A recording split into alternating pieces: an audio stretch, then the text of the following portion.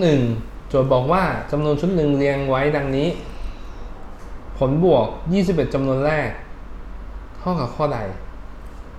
อ๋อนี้เราก็ต้องมาดูก่อนว่าหนึ่งใช่ไหมเลขสองมีสองตัว เลขสามมีกี่ตัว สามตัว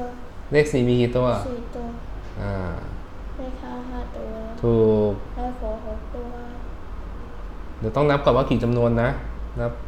หนึ่งสองสามสี่ห้าหกเจ็ดแปดเก้าสิบสิบเอ็ดสิบสองสิบสามสิบสี่สิบห้าสิบห้าแล้วนะ อ่าเราไปเลขอะไร เลขหกกี่ตัวหกตัวสิบห้าแล้วก็นับต่อสิบหกสิบเจ็ดสิบแปดสิบเก้ายี่สิบยี่สิบเอ็ดจบพอดีที่เลขหกถูกปะอ่างั้นเรามา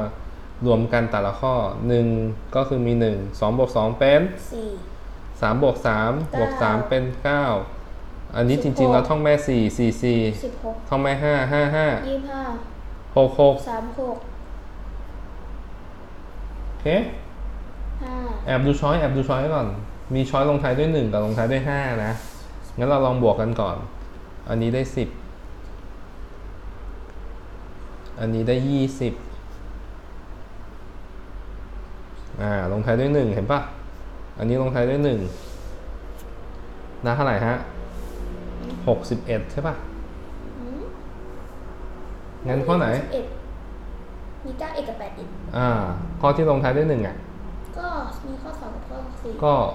บวกอีกสามสิบคำตอบที่ถูกคือ รวมได้เก้าสิบเอ็ดจบ เย้คิดอย่างนี้นะปิดเลย